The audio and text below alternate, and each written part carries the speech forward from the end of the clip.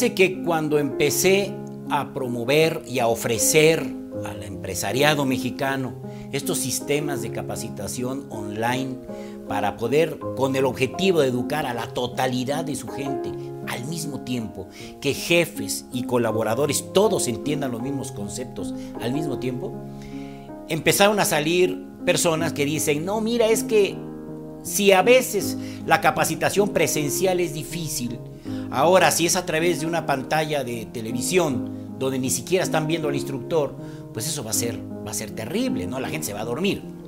Aquí mi respuesta es muy sencilla. Miren, tengo toda una vida dando seminarios a las organizaciones y el que se quiere dormir se va a dormir conmigo enfrente o, o sin mi presencia.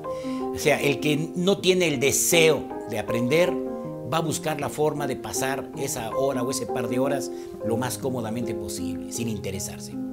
Pero esa no es la mayoría.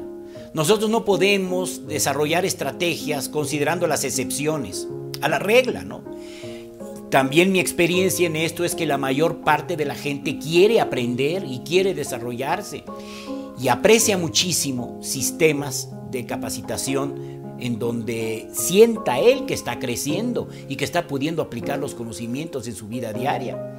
Si unos cuantos por ahí no les interesa, pues eso va a pasar lo mismo con la educación presencial o con la no presencial.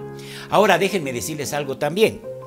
Eh, los sistemas online tienen la ventaja de que abaratan el precio muchísimo, porque en vez de que ustedes tengan la instrucción en una sola empresa con un instructor especial para ustedes, ustedes están conectados a, un, a una gama de empresas y entonces el precio se abarata considerablemente porque son muchos los que están pagando a ese instructor y hay la misma interacción como estuvieran en un salón de clases. Entonces, además yo creo que, que no podemos aferrarnos al paradigma pasado, costoso, lento, complicado, de los cursos dentro de la empresa. Habrá cursos especiales que se requieran, pero aspectos de formación general de la gente, yo no creo que tenga problema hacerlo bajo estos sistemas online, porque también les puedo platicar la experiencia positiva de organizaciones en donde, bueno, les pongo un caso, el Instituto Veracruzano de Educación para los Adultos, en donde trabaja, trabajo con ellos cada 15 días con alrededor de 2.500 personas metidos en los lugares más recónditos de la Sierra Veracruzana. ¿Cuándo les podríamos, podríamos atender a toda esa gente en todos los, a, lo largo y ancho de un estado tan grande como Veracruz? Solo se permite con este tipo de tecnologías que tenemos que aprovechar. Además, así es el mundo futuro.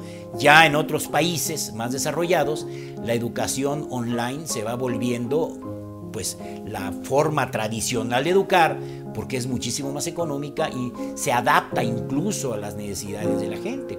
De hecho, nosotros, bueno, la idea es que lanzar un programa de este tipo, además de liderazgo para las empresas, también para las familias. Pero esto se los platico en la próxima cápsula.